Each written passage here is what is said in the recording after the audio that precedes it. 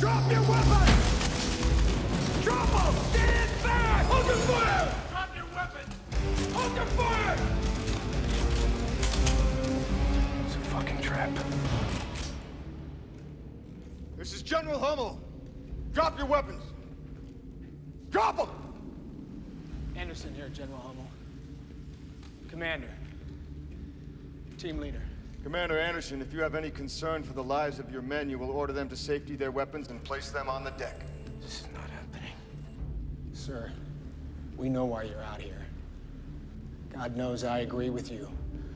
But like you, I swore to defend this country against all enemies, foreign, sir, and domestic.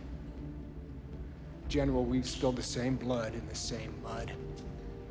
You know goddamn well I can't give that order. We're dead. Your unit is covered from an elevated position, Commander. I'm not gonna ask again. Don't do anything stupid. No one has to die here. Men following the general. You're under oath as United States Marines. Have you forgotten that?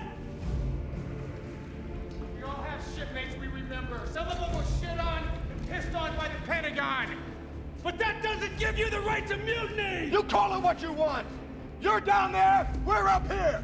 You walked into the wrong goddamn room, Commander! Stand fast! God damn it, Commander, one last time. You tell your men to safety their weapons, drop them on the deck. I cannot give that order! I am not gonna repeat that order! I will not give that order! What the hell is wrong with you, man? Stand fast! Oh my god. Let's waste these fuckers. One last time, you order your men to safety their weapons!